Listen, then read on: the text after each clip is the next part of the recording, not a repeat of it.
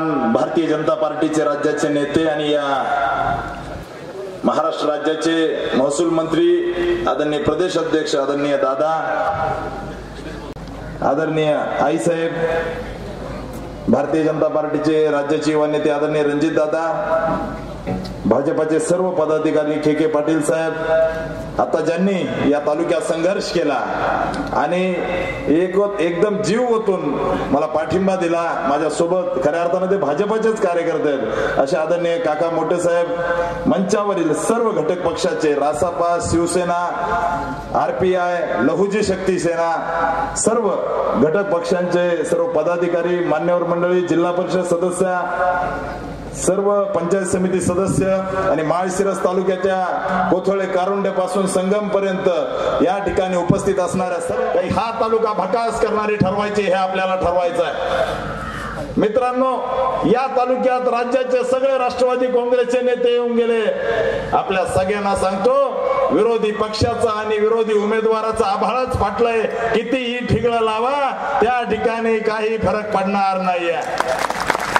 मित्रांनो ही निवडणूक या तालुक्याची या ठिकाणी नीतिमत्तेची निवडणूक आहे. काका मोठ्यांनी सांगितल्याप्रमाणे ह्या तालुक्याची नैतिक आणि त्या ठिकाणी सज्जन शक्ती माझ्यासारख्या ऊसतोड कामगाराच्या मुलासोबत आहे. आदरणीय मोठ्या दादांनी आशीर्वाद दिले तालुक्यातील पक्के भारतीय जनता पार्टीचे कार्यकर्ते जे पिढ्याना पिढ्या या ठिकाणी भाजपाचा झेंडा घेऊन काम करताय त्या ठिकाणी माझ्यासारख्या ऊसतोड कामगाराच्या मुलासोबत आहे. मित्रांनो ही निवडणूक आपण त्याच दिवशी जिंकलोय. जेव्हा बाळादादाने शिवरत्नावर घोषणा केली ही निवडणूक मित्रांनो आपण त्याच दिवशी जिंकलोय. ज्या दिवशी मला मोठ्या दादाने आशीर्वाद दिलाय. मित्रांनो ही निवडणूक आपण त्याच दिवशी जिंकलोय. ज्या दिवशी भारतीय जनता पार्टी मधली सज्जन शक्ती सगळी माझ्या मागे उभा आहे. मित्रांनो या तालुक्यामध्ये प्रत्येक गोष्टीवरती काम करण्याला मला कार्यकर्ता व्हायचंय. दादा मला आमदार झाल्या झाल्या आपल्याला एक विनंती करायची आहे. दादा येरड्याला येड्याचं इस्पितळ आहे. तसं परळीला ही धनंजय मुंडेसाठी एक येड्याचं इस्पितळ सुरू करा. ही मी तुम्हाला विनंती करतो. लाज वाटली पाहिजे माझ्यासारख्या दलित कार्यकर्ता. त्या ठिकाणी बाबासाहेबांचा विचार घेऊन संघर्ष करून काम केलेला कार्यकर्ता आहे. आणि खुलेआम तुम्ही बोलता मी भीमा कोरेगाव मधला आरोपी आहे माझ्यावर एफ आय आर मी या मंचावरून धनंजय मुंडेला खुलं चॅलेंज करतो. माझ्यावरच्या एफ आय आर ची कॉपी दाखवा. एक तर मी राजकारण सोडतो किंवा तुम्ही उद्या राजकारण सोडून द्या. राजकारणाची पण पातळी असते. कुठल्या स्तराला बोलाव किती बोलाव? राष्ट्रवादीचं वाटोळ करून टाकलं ना या धनंजय मुंडेने? मित्रांनो आपल्या सगळ्यांना सांगतो. तळमणीने सांगतो मी भारतीय जनता पार्टीचा सच्चा कार्यकर्ता. त्या ठिकाणी एका ऊसतोड कामगारामध्ये कामगाराच्या कुटुंबात जन्माला आलेलो कार्यकर्ता आहे. आपल्या सगळ्यांना सांगतो. विरोधी उमेदवार त्या ठिकाणी गाणं वाजवतोय. पाहुणं तुम्ही कोण्या गावचं? अरे माझ्या माय बापाने या तालुक्यात ऊस तोडलेला आहे. त्या ठिकाणी सगळ्या जाती धर्माच्या लोकांच्या घरामध्ये ऊस तोडलेला आहे. आपल्या सगळ्यांना सांगतो भांबुर्डीच्या मधने कुटुंबामध्ये माझ्या आई बापाने सालगडी म्हणून काम केलेलं आहे. मी अशा ऊसतोड कामगाराचा लेकरू आहे ज्याने कोयता हातात घेतलं तर फड संपेपर्यंत माग हटत नाही. ही निवडणूक या ठिकाणी हातात घेतलेली आहे. आदरणीय मोठ्या दादांनी आशीर्वाद दिलाय आशीर्वाद दिला. भाजपातली सगळी सज्जन शक्ती के के पाटलापासून सोपारनाव नानावर बसून त्या ठिकाणी सुळबापून पासून सगळ्यांनी ही निवडणूक हातात घेतली आहे. एकटा राम सातुदे या तालुक्याचा आमदार होणार नाही. त्या ठिकाणी या तालुक्यातील प्रत्येक व्यक्तीला आमदार आहे. असा त्या ठिकाणी स्वाभिमान वाटेल. असं या काम या तालुक्यात आम्ही करू. आपल्या सगळ्यांना सांगतो इमानईद्वारे या तालुक्याची सेवा करू. मान्य मुख्यमंत्री महोदय अनेकांनी सांगितलं तालुक्यामध्ये प्रचार करताना. मुख्यमंत्री महोदयांचा मी कार्यकर्ता.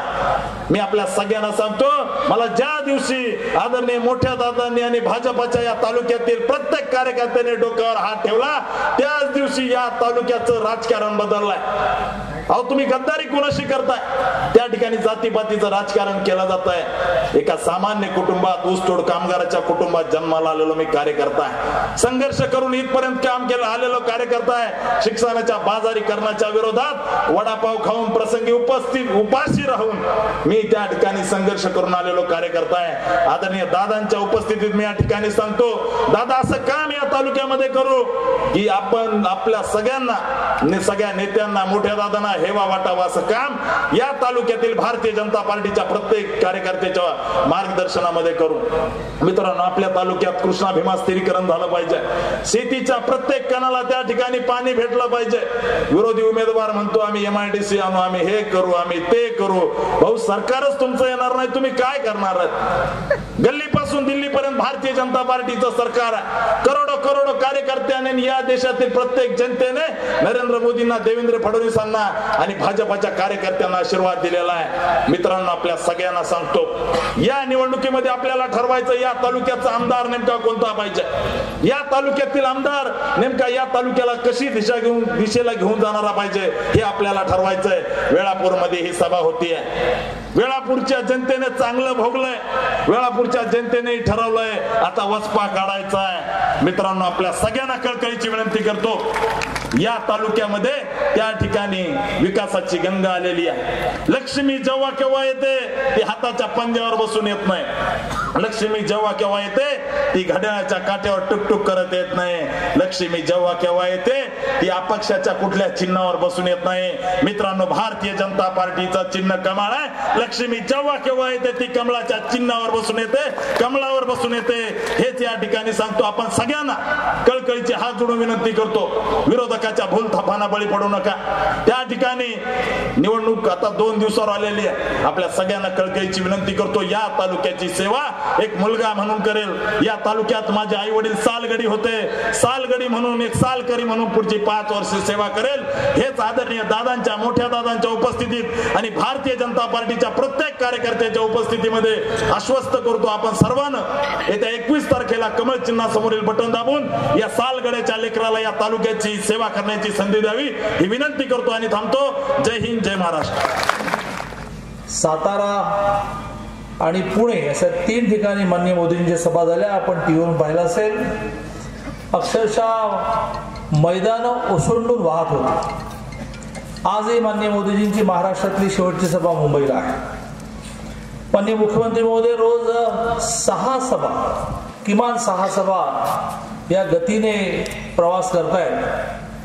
मी महाराष्ट्राचा अध्यक्ष असूनही एका विधानसभेची निवडणूक लढवत लढवत असल्यामुळे थोडा कमी प्रवास तरीही आपला मतदारसंघ सांभाळत अधिकाधिक ठिकाणी जाण्याचा प्रयत्न करतोय.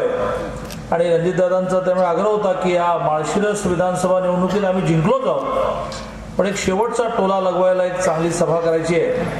त्यामुळे मी इथे आलोय. आणि आता बाळदादांनी दिलाच आहे टोला. मला काही शिल्लक नाही ठेवलं त्यांनी. तर अशा एका त्यांनी असं म्हटल्याप्रमाणे ज्या लढतीकडे संपूर्ण महाराष्ट्राचं लक्ष लागून राहिलेलं आहे जी लढत पक्षविरुद्ध पक्ष नसून व्यक्तीविरुद्ध व्यक्ती आहे अशा एका अत्यंत महत्त्वाच्या माळशिरस विधानसभा निवडणुकीमध्ये प्रचाराच्या सभेला व्यासपीठावर उपस्थित आपल्या सगळ्यांचे आदरणीय विजयसिंह दादा आता ज्यांचं अतिशय सगळ्यांना लक्षात राहील असं भाषण झालं असे बाळदादा भारतीय जनता पार्टीचे आगामी काळातली जी तरुण पिढी आहे मान्य मुख्यमंत्री महोदयांनी आगामी काळामध्ये कोण ही पार्टी लीड करणार आहे अशी एक शंभर जणांची यादी केली त्यातले अतिशय प्रमुख तरुण रणजितदादा मोहिते पाटील सौ नंदिनी देवी मोहिते पाटील सौ संजीवनीताई पाटील ज्या भाजपच्या खूप जुन्या कार्यकर्त्या आहेत तालुक्याचे अध्यक्ष सोपान काका नारणवर राजकुमार नाना असेच आमचे खूप जुने कार्यकर्ते ह्या जिल्ह्यामध्ये पक्ष उभा करण्यात त्यांची खूप मोठी भूमिका राहिली. अनेक वर्ष माझा परिचय पण प्रसंगामध्ये माणसाची परख होते. तसं ह्या निवडणुकीमध्ये के के पाटलांसमोर प्रश्न होता की वर्षानुवर्षीची दोस्ती टिकवायची की पक्षाची निष्ठा टिकवायची? आणि के के पाटील त्या परीक्षेमध्ये खरे उतरले. जिल्हा परिषद सदस्याचा राजीनामा देऊन ते भारतीय जनता पार्टीवर राहिले. निवडणुकीची पूर्वतयारी होत असताना सगळ्या प्रक्रियेत ते होते. कशा प्रकारे उत्तम जानकरांना आम्ही आव्हान केलं? पाच वर्षामध्ये काय प्रेम दिलं?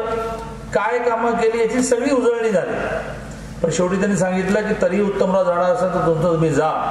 मी काय ह्या भारतीय जनता पार्टीतून जाणार नाही असे स्वतंत्र पाण्याचे के के पाटील बाळासाहेब वावरे शिवसेनेचे नेते Namdevrao Waghmare Muktarbhai Korbu Balasaheb Sargar R P S A Nandkumar Kengar Narendra Bhosale Somnath Bhosale Ashok Ghongde Kishorsingh Mane Patil Raosaheb Magar Mahadev Tupsaundar Sangramsingh Jahagirdar. सगळ्यात महत्वाची ज्यांचं मंडळी ज्यांचा उल्लेख केला पाहिजे असे हनुमंतराव सूळ आहेत की ज्यांनी धनगर आंदोलनाला संपूर्ण महाराष्ट्रामध्ये नेतृत्व दिलं. काकासाहेब मोठे आहेत त्यांचा प्रवेश करताना त्यांनी म्हटलेलं खरंच आहे. की भारतीय जनता पार्टीचा कार्यकर्ता एखाद्या वेळेस शिथिल होतो. काही काही कारण घडतात कधी एखादा निर्णय मान्य नसतो कधी स्वतःच्या घरचे काही अडचणी असतात. पण तो एकदा का भारतीय जनता पार्टी झाला की कायमचा भारतीय जनता पार्टीचा असतो. असं नेहमीच भारतीय जनता पार्टीचे राहिलेले. आणि आता खूप सक्रिय या निवडणुकीत होणार आहेत काकासाहेब मोठे बाबूराव आयवळे उपसभापती किशोर सूळ अंशुमन पांढरे अप्पासाहेब देशमुख सौ ज्योतिताई पाटील. सभेचे आयोजक सतीशराव माने देशमुख शंकरराव माने देशमुख अमरसिंह माने देशमुख ओंकार माने देशमुख. व्यासपीठावरील सर्व मान्यवर. आज मला पाच सभा करायची पहिलीच आहे. आणि त्यामुळे एखादं नाव जर चुकून राहिलं असेल तर मी माफी मागतो. व्यासपीठावरील सर्व मान्यवर या सकाळच्या सभेलाही उपस्थित पत्रकार बंधू कारण खूप उशिरापर्यंत त्यांचं काम चालत आहे त्यामुळे पुन्हा सकाळी लवकर सभेला ना अवघड असतं परंतु सकाळच्या सभेला उपस्थित सर्व पत्रकार बंधू आणि खूप मोठ्या संख्येने. जी संख्या आणि उत्साह पाहिल्यानंतर असं लक्षात येतं की चोवीस तारखेचा निकाल आजच लागलेला आहे. असे सर्व बंधू भगिनी आणि आपले उमेदवार जे माझे विद्यार्थी परिषदेतले सहकारी ज्यांनी आपल्या घराची आर्थिक स्थिती चांगली नसतानाही ऊसतोड कामगार असतानाही जसं मी आहे मी एका मिल कामगाराचा मुलगा आहे.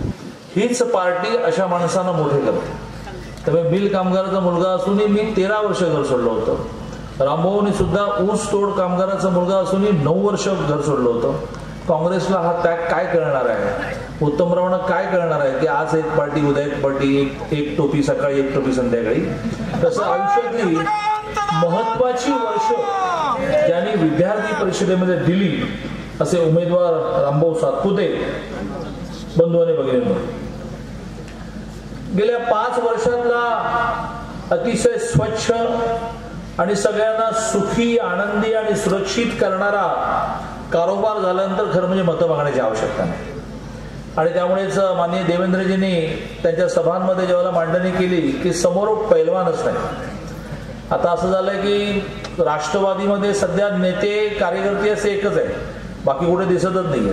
काँग्रेसचा तर पत्ताच नाहीये. त्यामुळे असं जेव्हा मुख्यमंत्री म्हणाले की समोर लढायला पैलवानच नाहीये कारण आम्ही इतकं काम केलंय की कोणी उभं राहायलाच तुमच्याकडे तयार नाही त्यावेळेला पवार साहेब असं म्हणाले की अशा पैलवानांशी आम्ही लढत नाही आणि ज्या प्रकारचे हातवारे केले मला असं वाटतं की माझा हा अधिकार नाही. पवारसाहेबांनी महाराष्ट्रासाठी खूप केलेला आहे. आदर आहे आमच्या मनामध्ये. पण ज्या प्रकारचे हातवारे त्यांनी केले ते हातवारे मला वाटते सगळ्यांनी टी व्हीवर पाहिलेले आहेत. आणि अशा प्रकाराने जे पातळी सोडून काम करत आहेत त्यांना खरं म्हणजे ह्या निवडणुकीमध्ये जनता कुठलंही स्थान देणार नाही. कारण जनता इतकी नतदश नाही गेल्या पाच वर्षामध्ये समाजाचा एकन एक घटक एकन एक घटक. शेतकरी असू देत कामगार असू देत मजूर असू देत विद्यार्थी असू देत महिला असू देत एकन एक घटकाच्या सुखासाठी आनंदासाठी आणि सुरक्षिततेसाठी या सरकारने जे जे करावं लागेल ते सगळं केलेलं आहे. सगळ्यात महत्त्वाचा मुद्दा आपल्या शेतकऱ्यांचा पाण्याचा असतो. पाण्याचे जेवढे म्हणून प्रकल्प अपुरे राहिले ते सगळे प्रकल्प पूर्ण करत आपण आणले. आणि त्याच्यातून ज्या भागामध्ये पाणी मिळालं नव्हतं वर्षानुवर्ष वाट बघत बसलो होतो हा प्रकल्प पूर्ण होणार आहे मग पाणी येणार आहे तो प्रकल्प पूर्ण मग पाणी येणार आहे. असे सगळे प्रकल्प आपण पूर्ण करत आणले. चोवीस हजार कोटी रुपये आपल्याला नाबार्डकडून मिळाले पाच टक्के व्याज दराने मिळाले आणि त्यातून एक एक एक एक एक एक प्रकल्प पूर्ण करत शेतकऱ्याच्या शेतापर्यंत पाणी कसं पोचलं असा आपण प्रयत्न केला. मी सुद्धा कोल्हापूर जिल्ह्यातल्या एका छोट्या गावातला गारगोटी तालुका खानापूरचा शेतकरी आहे. अडीच एकर कोरडवाहू जमिनीमध्ये भागे ना.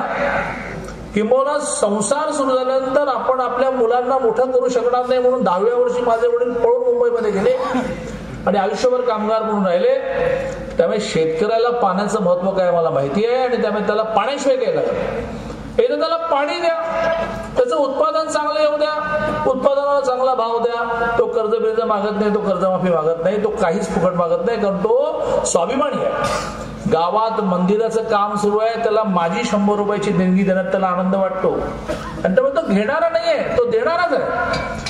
पण पाण्याची समस्या होती गेल्या पाच वर्षामध्ये महाराष्ट्रामध्ये हा प्रयत्न आपण चालू ठेवला की शेतकऱ्यांना प्राधान्य. चौतीस हजार कोटीची कर्जमाफी आपण केली. एकोणीस हजार कोटी रुपये शेतकऱ्यांच्या खात्यावर गेले. मोठ्या मोठ्या विरोधी नेते बोंबलत फिरतायत की कर्जमाफी झाली नाही कर्जमाफी झाली नाही. यादी आहे ना त्याची? महाराष्ट्राच्या विधानसभेमध्ये प्रत्येक आमदाराला पेनड्राईव्हमध्ये यादी दिलेली आहे की महाराष्ट्रामध्ये आतापर्यंत बावन्न लाख शेतकऱ्यांच्या खात्यावर कर्जमाफीचे पैसे गेले. त्यांचं कर्ज माफ झालं त्यांचं कर्ज खातं निरंक झालं अशी मोठी यादी आहे. आणि अजूनही अकाउंटला आपण चार हजार कोटी शिल्लक ठेवलेले आहे की जे वन टाइम सेटलमेंटचे पाच लाखाचं कर्ज आहे. बँकेशी चर्चा करू तर तीन लाख करून घेतलं. मग दीड लाख शेतकऱ्यांना भरायचे दीड लाख सरकार भरणार अशी चार हजार कोटीची अमाऊंट अजून शिल्लक आहे. त्यामुळे चौतीस हजार कोटीची कर्जमाफी आपण सँक्शन केली. तेवीस हजार कोटी रुपये आपण अकाउंटला जमा केले. एकोणीस हजार कोटी रुपये वाटले. चार हजार कोटी रुपये अजून शिल्लक आहे. आणि वारंवार मान्य मुख्यमंत्री महोदयांनी घोषणा केलेली आहे की शेतकऱ्यांच्या कर्जमाफीमध्ये शेवटची कर्जमाफी होत नाही तोपर्यंत ही योजना आम्ही बंद करणार आणि त्यामुळे कर्जमाफी असेल पाण्याचे प्रकल्प पूर्ण करणं असेल आता करता करता करता नवीन मोठी धरणं होणार नाहीत. तीन धरणाने होणार नाहीत. एक तर प्रत्येक राज्याने पाणी किती अडवायचं? याचं काही एक गणित ठरलेलं असतं. त्याच्या पुढचं पाणी त्यांनी पुढच्या राज्याला पाठवायचं असतं. आपण जेवढं पाणी अडवलं अडवलं पाहिजे ते पाणी आपण बऱ्यापैकी अडवलं. तर त्यावर आपण आगामी काळात चर्चा करणार आहोत की प्रत्यक्षामध्ये कागदावर जेवढं पाणी आम्हाला मिळालं तेवढं मिळालं नाही. तेव्हा अजून काही पाणी आम्ही अडवणे लागतो. तेव्हा आम्हाला अजून काही धरणांना परवानगी द्या. तर ते केंद्रीय आयोग असं करू. परंतु जे पाणी आपण अडवलं पाहिजे ते पाणी आपण बऱ्यापैकी अडवल्यामुळे नवीन धरणांना परवानगी नाही. धरणांना साईड लागते. कुठेही धरण करत चालत नाही. त्याला साईड लागते की तिथे पाऊस जास्त पडेल सगळ्या बाजूने पाणी वाहून येईल मग ते धरण भरेल. अशा साईड्स कमी होत चालल्या. आणि सगळ्यात महत्वाचं म्हणजे लोक सध्या एक इंचही जागा द्यायला तयार नाही या सगळ्यामुळे माननीय मुख्यमंत्री महोदयांनी निर्णय केला की विकेंद्रित पाण्याची व्यवस्था करू. आणि जलयुक्त शिवार नावाच्या माध्यमातून बावीस हजार गावामध्ये आपण पिण्याच्या पाण्याचा आणि शेतीच्या पाण्याचा साठा वाढवला आपल्यापैकी अनेकांच्या गावामध्ये जलयुक्तीची कामं झाली असते एक लाख बहात्तर हजार शेततळी आपण केली. त्यातून सरफेसवरचं म्हणजे जमिनीवरचं पाणी वाढवलं. आणि सगळ्यात महत्वाचं जलयुक्तच्या माध्यमातून जमिनीच्या पाण्यात पोटातला पाण्याचा साठा आपण वाढवला की जेणेकरून विहिरींना आणि बोरना पाणी वाढलं. उत्पादनाला उत्पादनाला भाव मिळाला पाहिजे. सरकारने चौदा पिकांचे भाव केंद्र जे ठरवेल त्यातली पंचवीस टक्के खरेदी प्रामाणिकपणे केली कधी कधी ती जास्त येते आपल्याला आठवतंय की दोन वर्षापूर्वी तुरीचं उत्पादन खूप झालं. आणि हे तुरीचं उत्पादन खूप झाल्यानंतर भाव पडले. शहात्तर लाख क्विंटल.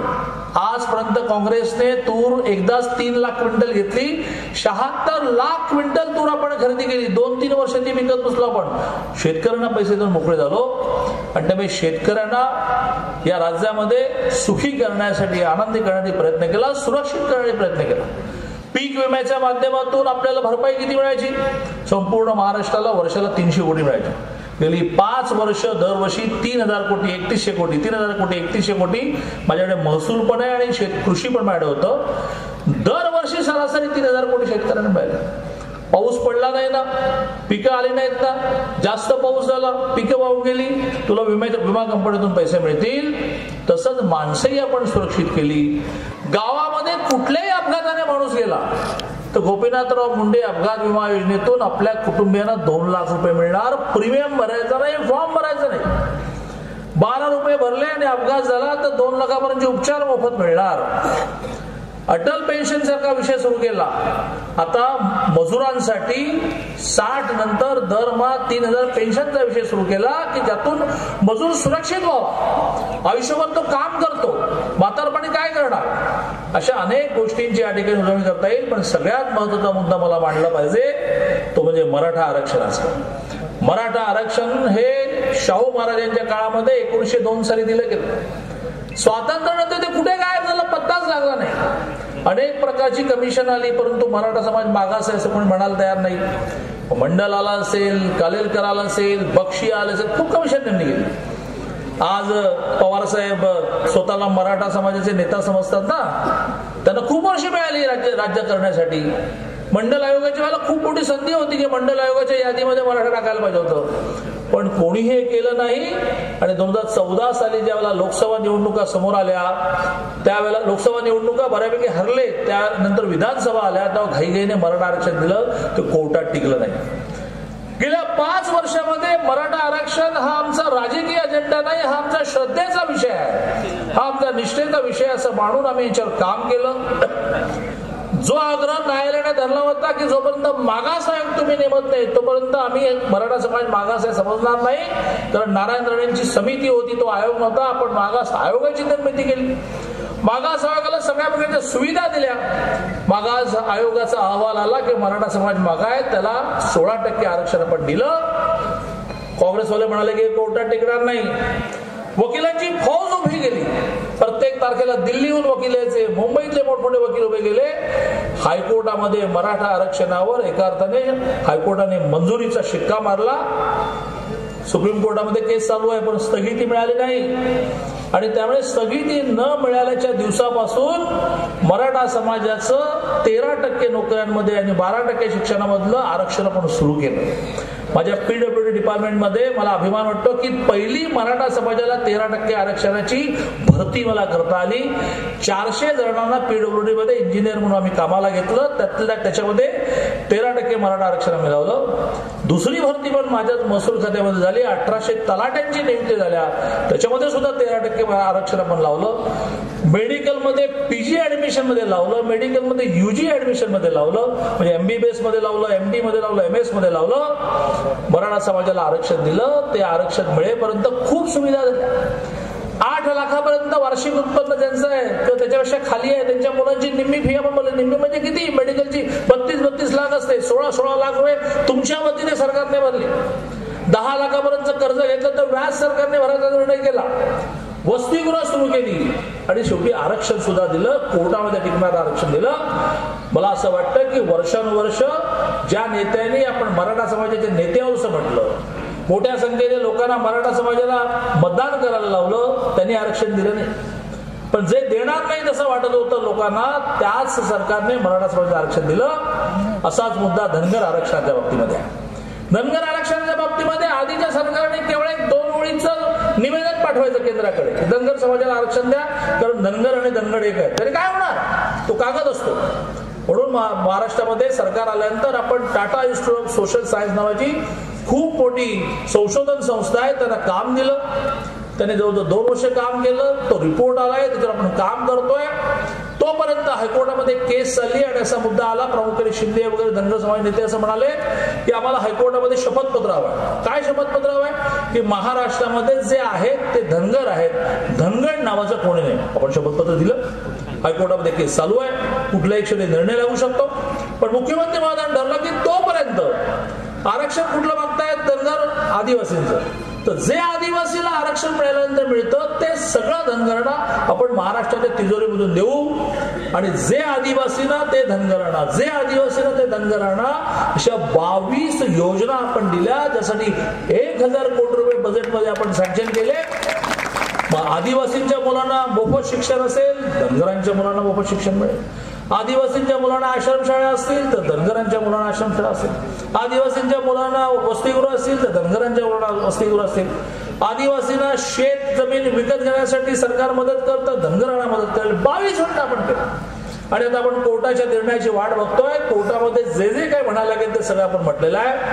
आणि गेल्या पाच वर्षामध्ये ह्या सरकारने शिक्षणाचा दर्जा सुधारणं असेल पिण्याचं पाणी उपलब्ध करून देणं असेल शेतीचं पाणी असेल अशा सगळ्या गोष्टी केल्यानंतर आपण एवढे नतद्रष्ट नाही आहोत की भारतीय जनता पार्टी शिवसेना आरपीआय रासप शिवसंग्राम आणि रयत अशी जी महायुती झाली त्या महायुतीला मतदान आपण करणार नाही.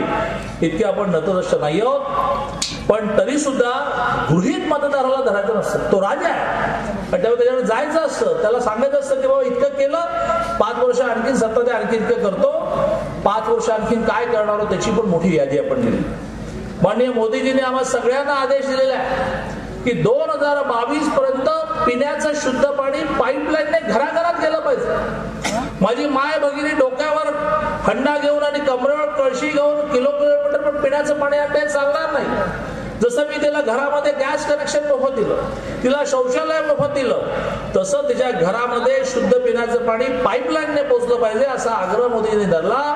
त्यासाठी केंद्रामध्ये एक मिनिस्ट्री वेगळी निर्माण केली पाण्याच्या विषयामध्ये आणि दोन हजार बावीस पर्यंत प्रत्येकाच्या घरामध्ये शुद्ध पिण्याचं पाणी पाईपलाईन पोहोचवण्याचा आपला प्रयत्न आहे. सगळ्यात महत्वाचं म्हणजे महाराष्ट्राच्या काही भागामध्ये प्रचंड महापूर येतो. आणि महाराष्ट्राच्या काही भागामध्ये दुष्काळ असतो. हे महापुराचं पाणी पाईपलाईनने दुष्काळी भागामध्ये शिफ्ट करता येईल का? यासाठी जागतिक बँकेचं एक बावीस जणांचं शिष्टमंडळ आलं. अभ्यास झाला. सत्तावीस हजार कोटीची योजना कागदावर आली. जोपर्यंत आपण अशा प्रकारे आपण जे करू शकतो त्याच्यातून पाणी देऊ शकत नाही तोपर्यंत महाराष्ट्र सुखी होणार नाही. त्यामुळे महाराष्ट्र दुष्काळ मुक्त करण्याचं स्वप्न घेऊन खरं म्हणजे आम्ही तुमच्याकडे मतं मागायला आलो. महाराष्ट्रामध्ये रोजगाराची निर्मिती व्हावी. जेवढी म्हणून त्या सगळ्या महामंडळांना पुरेसा निधी देऊन त्या महामंडळाने त्यांच्या समाजाला तरुण तरुणांना अधिक कर्ज द्यावे. ती कर्ज ही व्याज नसलेली द्यावी. त्या कर्जामधून त्यांनी नव्याने व्यवसाय करावे.